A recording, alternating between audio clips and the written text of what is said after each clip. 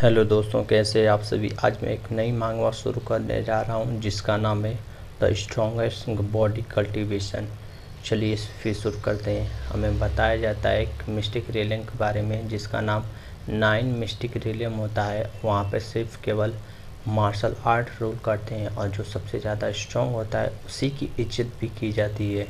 फिर हमें आगे भी बताया जाता है कि जो जो सबसे स्ट्रॉन्गेस्ट होता है, दुनिया में उसी का सम्मान भी किया जाता है और उसका एक लिस्ट निकाला गया है, जो जिसका नाम द हेवनली लिस्ट कहा जाता है। इस इस हेवन लिस्ट में रूमर ये भी है कि वो उनके पास बहुत ज़्यादा ही पावर होती है इन्फिनाइट पावर होती है। वो अपने हाथों से बादल को भी हिला सकते हैं और बारिश भी करा सकते हैं। फिर हमें आगे बताया जाता है कि जो नंबर वन होता है, उस लिस्ट में वो बहुत ज़्यादा ही पावर को अचीव कर कर लेता है और वो अपने पावर से दुनिया को भी हिला सकता है। वो एक इमोटल बन सकता है और गॉड भी बन सकता है और हेवन के खिलाफ भी खड़ा हो सकता है। फिर हमें दिखाया जाता है लाइटनिंग को, जो कहीं पे गिर रही होती है। अब हमारा मेन कैरेक्टर एक माउंटेन की पीक पे खड़ा होता है और उस लाइटनिंग को देख रहा होता है और कहता है कि, कहता है कि ये सब चालू हो गया। फिर हम देखते हैं कि वो लाइटनिंग उसके आसपास गिर रही होती है और उस, हमारे मेन कैरेक्टर के कुछ सबऑर्डिनेट को दिखाया जाता है और वो लोग कहते हैं कि जो बॉडी रिफाइनिंग है रिफाइनिंग है हमारे ग्रैंड मास्टर ये कैन जो कर रहे हैं वो ज़्यादा ही ख़तरनाक है। ये हेवेली रेवोल्यूशन जो है, फिर हमारे मेन कैरेक्टर को दिखाया जाता है जिसका नाम ये कैंग होता है। फिर वो, ये कैंग कहता है कि ये सब तो छोटा सा है फाइनली वो आ रहा है। देखते हैं कि हम आसमान की तरफ़ से हेवन की तरफ़ से एक स्वॉर्ड आ रही होती है, जो जो हमारा मेन कैरेक्टर देखकर स्माइल करता है। और फिर देखते हैं कि उस स्वॉर्ड का नाम the divine of sword of exclusion होता है। और वो बहुत बड़ी सी तलवार होती है जो ये कैन की तरफ़ जा रही होती है। जो ओल्ड मैन होता है वो कहता है कि जो फ़र्स्ट लेवल होती है हेवनली ट्यूबलेशन टेस्ट का, वो डिवाइन डाव को रखता है और जो P L S divine sword होता है ऑफ़ एक्सक्लूशन का। फिर दूसरा वाला कहता है कि ह्यूमर ये भी है कि जो इसको रिकोगनाइज़ कर लेता है, वो क्वालिफाई होता है फेस करने के लिए डाव को, जो इसमें होता है। फिर वो कहते हैं कि ये चैन बहुत ज़्यादा ही स्ट्रॉन्ग है। ये चैन, जाओ, हमारे मेन करेक्टर का नाम है। फिर हमारा मेन करेक्टर अपने दो फिंगर को उठाता है और दो फिंगर से ही उस शॉट को पकड़ लेता है। और उसको अपने पावर को बढ़ाकर उस शॉट को तोड़ देता है। फिर देखते हैं कि जो शॉट है उसमें जगह जगह से क्रैक होना शुरू हो जाते हैं। ये देखकर उसके सब बॉलीवुड कहते हैं कि ये कैसे हो सकता है? उसने तो सिर्फ़ दो फिंगर से ही उसको तोड़ दिया। देखकर सभी लोग चौंक जाते हैं। फिर हमारे मेन कैरेक्टर को दिखाया जाता है, जो कहते हैं कि ये तो बहुत ज़्यादा हल्का है। क्या है बस सिर्फ़ इतना ही कर सकता है? मुझे इतना ही दे सकता है। ये ये सब देखकर हेवन को बहुत ज़्यादा ही गुस्सा आता है। फिर हमें दिखाया जाता है एक ड्रैगन को, एक फिनिश को और उसके बीच में एक बॉडी रिफाइनिंग कल्टिवेटर को भी दिखाया जाता है। और वो कहता है कि तुम एक छोटे से मॉडल क्रिएचर हो। तुम्हें इतना घमंडी होने की ज़रूरत नहीं है और ना ही तुम्हें प्रूव करने की ज़रूरत है। तो हमारा ये चैन कहता है कि तुम बहुत ज़्यादा ही बोल लो ये कहकर एक पत्थर उठाकर अपने फिंगर से ऊपर की तरफ़ फेंक देता है।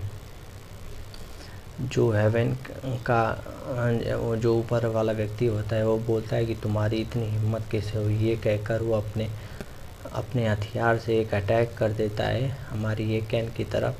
फिर वो अटैक देखते हैं कि हमारी ये कैन की तरफ़ आ रहा होता है और ये कहता है कि अब जो जो डिवाइन वेपर है वेपन है, वो मुझे डिफीट कर सकता है या नहीं, चलो देखते हैं, यही टाइम है।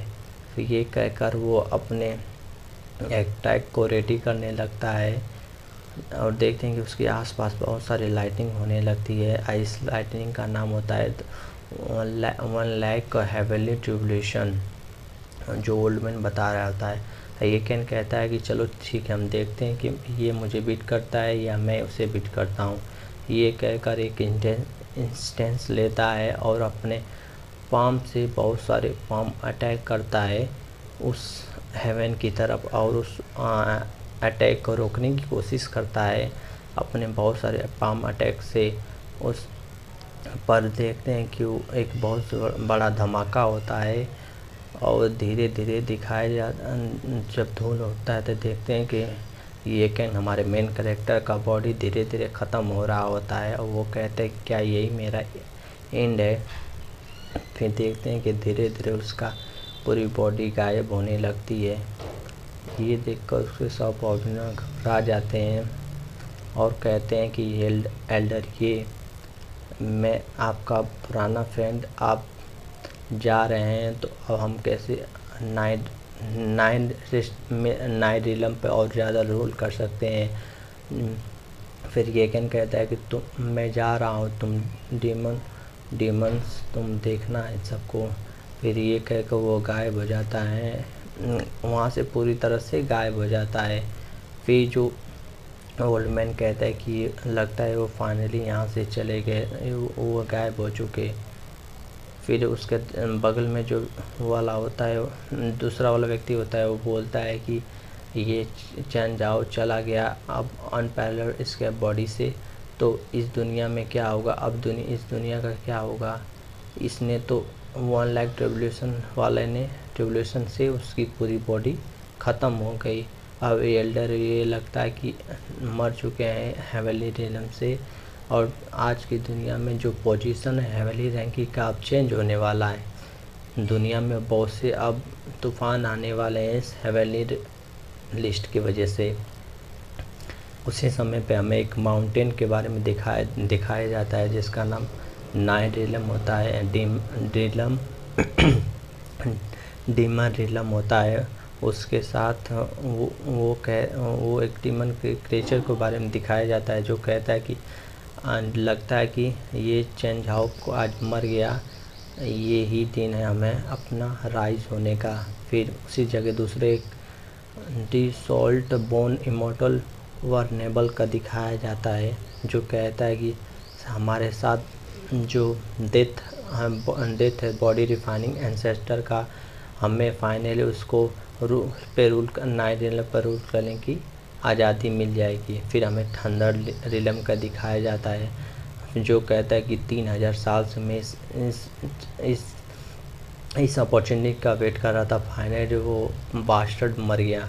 फिर हमें demon, the thunder demon demon का दिखाया जाता है, जो कहता है कि जो सील है वो आज टूट जाएगी। और जो टॉप स्पोर्ट है, हेवन लिस्ट का, उसमें थंडर डीमन भी आएगा।